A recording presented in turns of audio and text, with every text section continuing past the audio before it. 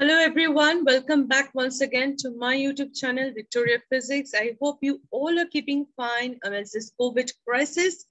And we have started with virtual labs and few experiments are already done. I hope you are aware of this uh, window that is uh, right there in front of the screen, virtual labs. We will be performing uh, electronics experiments virtually with the help of Virtual Lab. This is an initiative by the government and uh, over here it is free, easily accessible and you can do the experiments multiple times.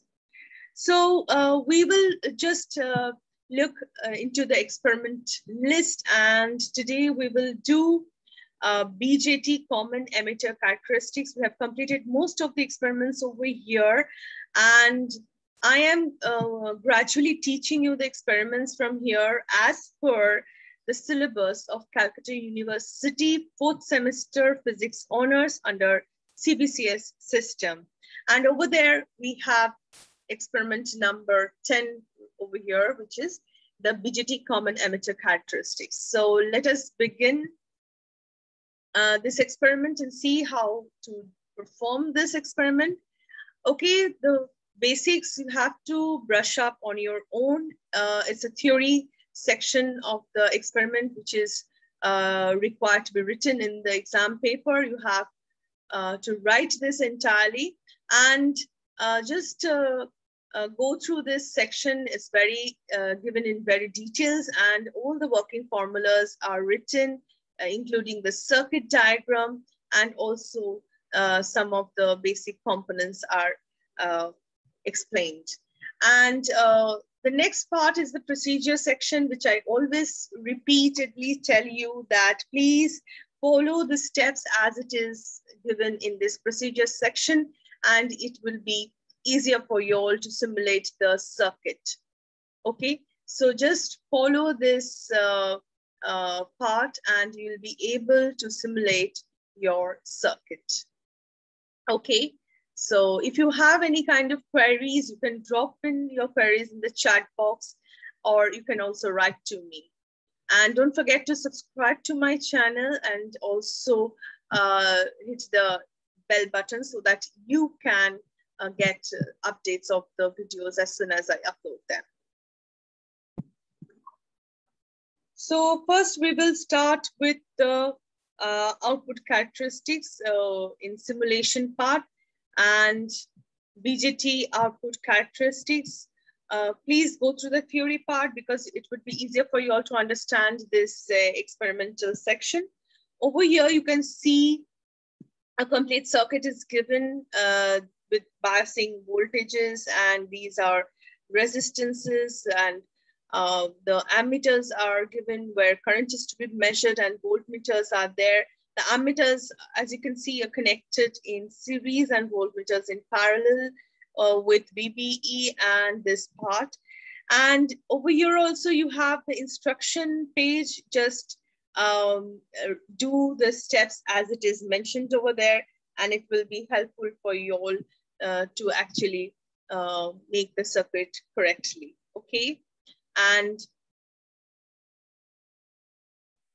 so let's begin with the experiment. So first, uh, read the instruction. It says that you have to set the rheostat RH1. Okay, RH1, this rheostat to one ohm. So I'm setting this to as one ohm. And you have to set the rheostat RH2 also to one ohm. So once this is set, the next step is to set the base current, that is this base current IB, which will be seen over here in this microammeter. You have to make uh, it as 15 microampere. You have to keep the base current constant since we are uh, dealing with the output characteristics, as you might be knowing that in order to plot the output characteristics, you have to plot it uh, with um, keeping the input current base, you have to plot IC versus VC with uh, base current as constant. And for the time being, we'll be taking 15 microampere uh, as our base current, which is constant current, we're considering it.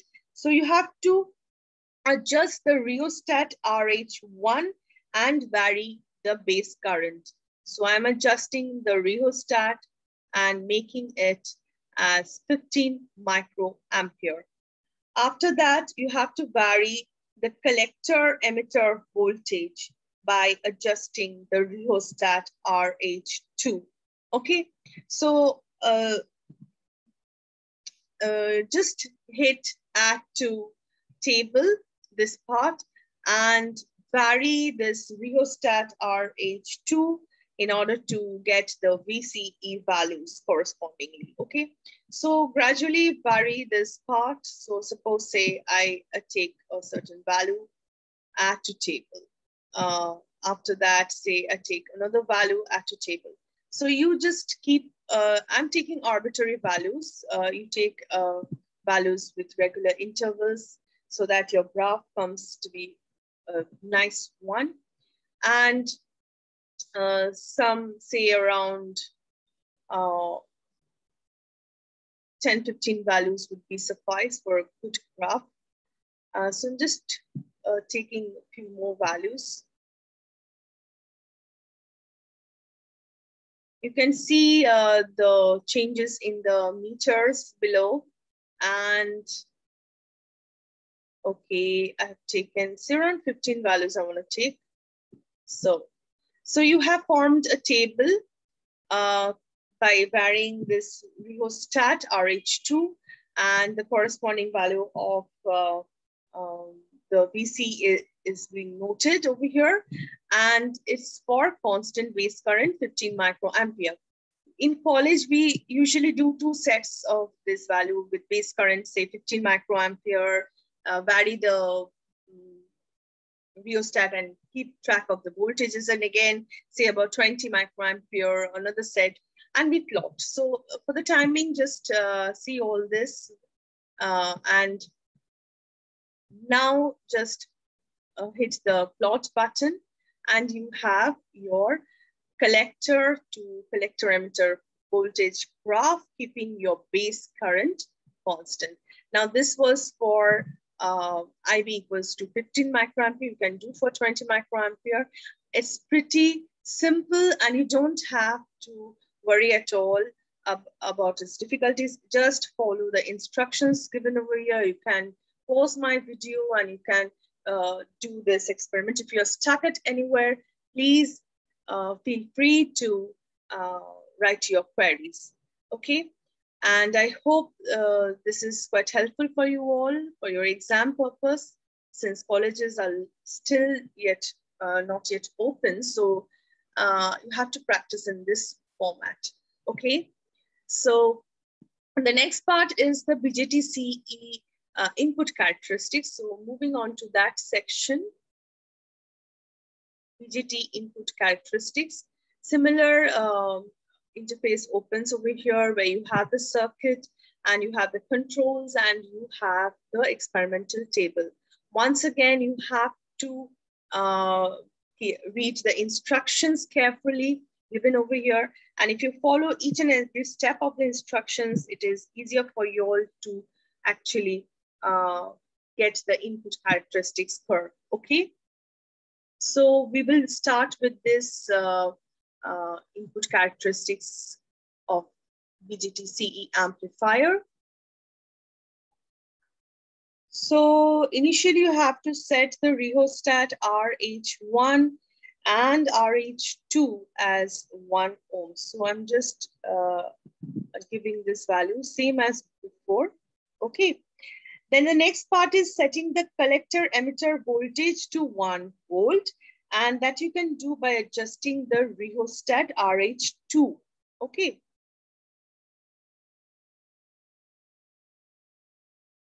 So let's vary the rheostat 2 and adjust the value of the VC to 1 volt, okay?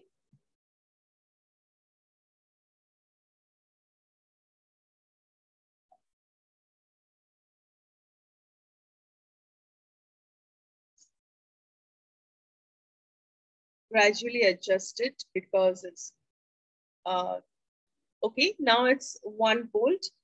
Now the base emitter voltage is varied by adjusting the rheostat RH1. as you might be knowing that uh, the input characteristics is actually IC versus IB, okay? Keeping your uh, collector emitter voltage constant. So you have to make a collector emitter voltage constant at some point and you have to do. So we have taken that to be as one volt. We'll keep it constant for the rest of the experiment. So at to table and just simply you have to uh, note down the readings of the base current and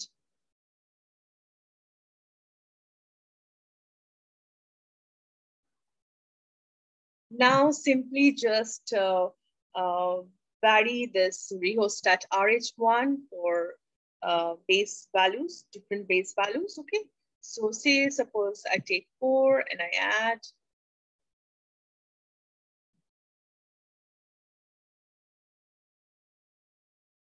I'm just gradually changing. I'm taking arbitrary values uh, once again, just to show you. And it's very simple. I hope it will be helpful for uh, students uh, there in engineering colleges, in uh, degree colleges. And uh, this is actually a, a common experiment in, in most of the curriculums across India. So during this pandemic, I hope uh, to help you out with the, as much as possible by this uh, endeavor. So uh, I've taken quite a few points as uh, you can see 14 points I've taken, keeping my VCE as one volt.